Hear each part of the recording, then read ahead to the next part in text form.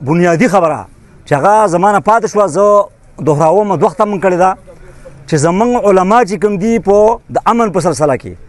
هغه ډیر وخت کېږي چې 2008 نه د نن پورې هغه بس د چپ خله چپ کړی دا هغه دا نه کوي موږ دا په سلام وکړه چې په هر جمعات کې د عالمان را پاسيږي او هغه د یا د حالاتو ته ټیکوي یا د تر اسلام د خدای پاک د حکم د رسول الله صلی الله علیه وسلم د حکم خلاف ورزي وي او د یار د خلکو غندنه وکي یار د خلکو مزاحمت وکي او په دې باندې چې کوم ده په هر جمعات کې خبره وشي چې زمونږه ریاست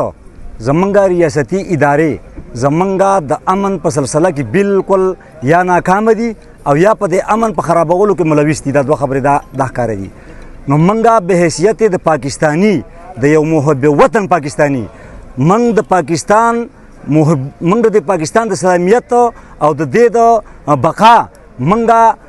کلک ملګری یو موږ د دې پاکستان سره مخلص یو د دې پاکستان د اخلاص په بنا باندې موږ دا وایو چې یا دا ادارې چې کوم دي دا یا ناکام دي او یا د ادارو چې کوم در د خلکو سره مرګتیا ده نو موږ دا خبره وکړه چې را دا به زموږ مطالبه لري د خلکو نه د دې خپل ریاست نه چې دا ادارې د خپل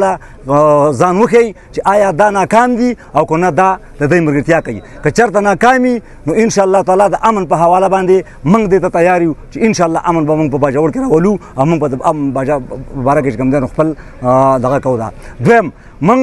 دا په سلام وکړه چې څومره په دې باجوړ کې زمون قومي خلک دي هغه قومي خلک چې کوم دی هغه دهشتګردو علاکار دی نو دا به د دهشتګردو علاکار نه جوړیږي ځکه به نه جوړیږي چې دا خلک منګ وجني مسلمانان وجني دا مسلمانان دي دا زموږ ورونه دي دوی ته دا زموږ پیغام دی چې الله پاک تاسو دا حکم کړی دی چې تاسو مسلمانان مو وجنئ تا الله حکم دی چې چا یو مؤمن په قتل احمد سره قتل کو د در لپاره همیشه د لپاره جهنم دی نو دا پریکړه زمونږ وشوه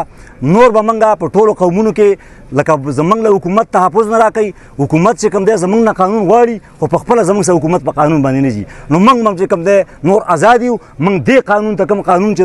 د زموږ باجوړ کې دی د دې قانون منلو ته موږ نور تیار نیو یا د حکومت بالکل قانون په ځانم لاګو کې په موږ هم لاګو کې ریاست د قانون په ځانم لاګو کې په موږ هم لاګو کې که دغه نه یوازې موږ په خپل ځان باندې قانون لګولو ته قانون لګولو ته په ځان باندې موږ تیار نیو ټول قوم نیو تیار موږ بر دې قانون نه بغاوت کوو ډېره مننه ډېره شکریا وما علينا الا البلاغ